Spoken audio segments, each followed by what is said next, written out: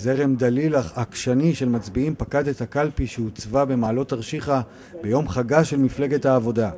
היו"ר, חברת הכנסת יחימוביץ', החליטה לבטל את ההצבעה הממוחשבת ולהחליפה ברישום רגיל כחלק מלקחי הפריימריז בליכוד. וצעירי המפלגה, אלה שאומרים שיחימוביץ' הביאה, שמזרימים אליה את הכוחות הרעננים, כבר משתלטים על המרחב הציבורי. ביום הפריימריז של המפלגה שמתעתדת, להחליף את השלטון.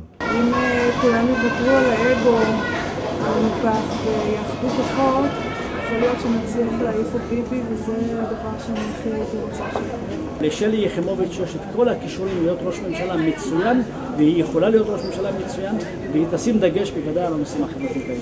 ודווקא במפלגה שתאבה לכבוש את השלטון, ניסיונותיה של יושבת הראש לבלום את הפנקסנות המערכניקית, ביטול השריון למחוזות ולמגזרים ופתיחתם לרשימה ארצית אחת אמורים לשוות למפלגה דימוי נקי יותר.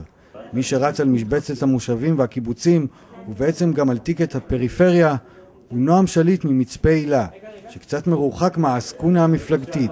אמרתי לך שאין לי דילים ואין לי מחנות ואין לי בלוגים ואין לי ארגזים. אני מקבל תמיכה מהציבור הרחב ועל זה אני בונה.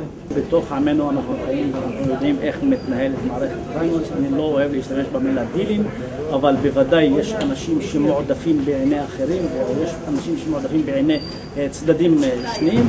אני חושב שזה טבעה של דמוקרטיה, זה טבעם של פריימריז. מאלק בדר מחורפיש הולך על טיקט המגזר הדרוזי וגם על הצפון. לא מעט נציגי המגזר מתמודדים בפריימריז השנה. גורמים במפלגה היו רוצים לראות בכך אולי סיכוי להחליף את חבר הכנסת מג'אדלה. יש צורך בטיפול בענייני פריפריה, בכלל נושא סגירת פערים חברתיים בתקופה מאוד מאוד שהנושא הביטחוני תפס מקום מרכזי, למרות זאת הנושא החברתי הכלכלי לא ירד מסדר היום במערכת הבחירות הזאת.